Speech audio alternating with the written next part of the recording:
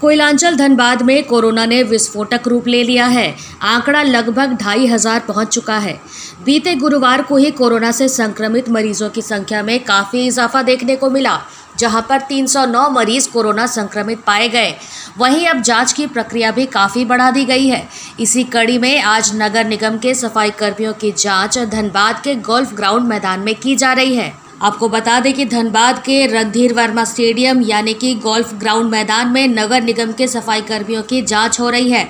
वहीं जिस तरीके से कोरोना मरीजों की संख्या में ज़िले में बढ़ोतरी हो रही है, लोगों में हड़कंप मचा हुआ है। नगर निगम के सफ़ाई कर्मी काफ़ी दिनों से कोरोना जाँच की मांग कर रहे थे जिस पर ध्यान देते हुए जिला प्रशासन आज सभी को गोल्फ ग्राउंड मैदान में बुलाकर कोरोना जाँच कर रही है। में जो जाँच होनी है वो 400 की टारगेट है। जितने लोग आएँगे सभी के आरटीपीसीआर द्वारा जाँच की जाएगी। निगम के अलावे भी और भी कुछ? और भी कोई भी एक्स्ट्रा पेशेंट पेशेंट आएँगे सबका होगी जाँच